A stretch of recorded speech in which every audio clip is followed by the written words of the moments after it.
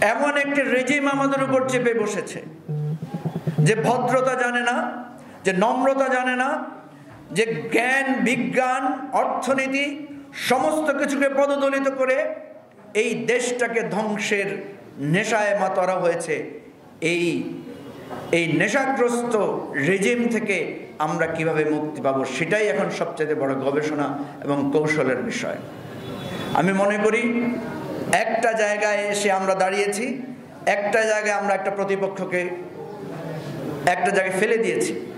এখন দুইটা কৌশলগত দিক। একটা হচ্ছে শেখ হাসিনা একটা সাজানো নির্বাচন করতে চায়। সেই নির্বাচনে সে কিছু দালাল জোগাড় করছে। আমাদেরকে কনসেন্ট্রেট করতে হবে। ওই দালালরা যাতে শেখ হাসিনার কাছে ভিড়তে সাহস না পায়, কোনো দালাল যাতে এই সুযোগে তৈরি হতে না পারে, এদের ব্যাপারে একটা পদক্ষেপ নেওয়া এদের ব্যাপারে একটা কর্মকৌশল তৈরি করা, নাম্বার ওয়ান।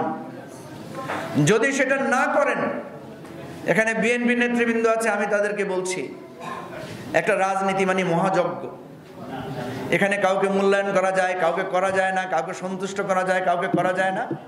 তাহলে আপনাদের জেলা, উপজেলা পর্যায়ের অনেক বঞ্চিত নেতাদেরকে বিভিন্ন প্রলোভন দিয়ে তাদেরকে দিয়ে একটা নির্বাচন ফেক নির্বাচন সাজানোর জন্য চেষ্টা করবে। সেই দিকে মনোযোগ দেওয়ার জন্য আমি বিনীতভাবে অনুরোধ করছি।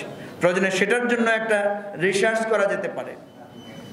দুই নম্বর কথা হচ্ছে, আমি মনে করি আন্তর্জাতিক মহল, আমাদের দেশের জনমত, আমাদের দেশের মিডিয়া আমরা সবাই মিলে এমন একটা জায়গায় এসে দাঁড়িয়েছি যে এই জায়গা থেকে যদি আমরা পরাজিত হয়ে ফেরত যাই, তাহলে ইতিহাসের কাছে আমাদের এটা দায় থেকে যাবে। সুতরাং আসুন, ফাইনাল স্টেজের জন্য প্রিপারেশন নিতে হবে। আমি মনে করি সামনে আমাদের হাতে মাত্র দুটি মাস আছে। এই দুটি মাসের মধ্যে এই সরকারকে আরও কণ্ঠাসা করে, পদত্যাগে বাধ্য করে এবং সর্বশেষ দুই দিন বা তিন দিনের একটা ফাইনাল চূড়ান্ত কর্মসূচি তৈরি করেই আমাদেরকে আমাদের যুদ্ধে জয়লাভ করতে হবে। এবারের যুদ্ধ নির্বাচনের যুদ্ধ নয়। এবারের যুদ্ধ নির্বাচনের প্রস্তুতির যুদ্ধ নয়। আমার মনে আছে, বেগম খালেদা জিয়া এখন বিরোধী দলীয় নেত্রী, আমি তখন চট্টগ্রাম বিশ্ববিদ্যালয়ের ছাত্র। খসরু ভাইরা আমাদেরকে তখন আমরা চট্টগ্রাম থেকে ছাত্র জোট করেছিলাম।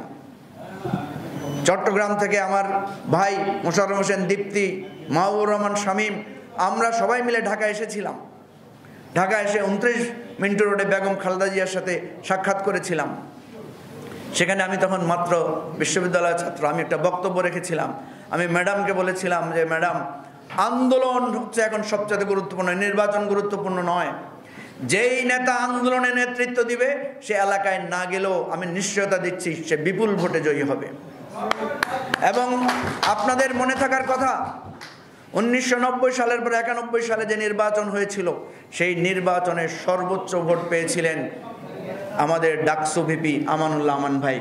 এবং আমান ভাই কখনো তার এলাকার ওয়ার্ড ইউনিয়নও চিনতেন না তখন ভালো করে। কিন্তু সর্বোচ্চ ভোট তিনি পেয়েছেন এবং নির্বাচিত হয়েছেন যেহেতু ডাকসু নেতৃত্ব দিয়েছিল।